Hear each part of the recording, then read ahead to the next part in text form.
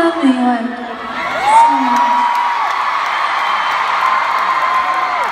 love you guys so much. Okay.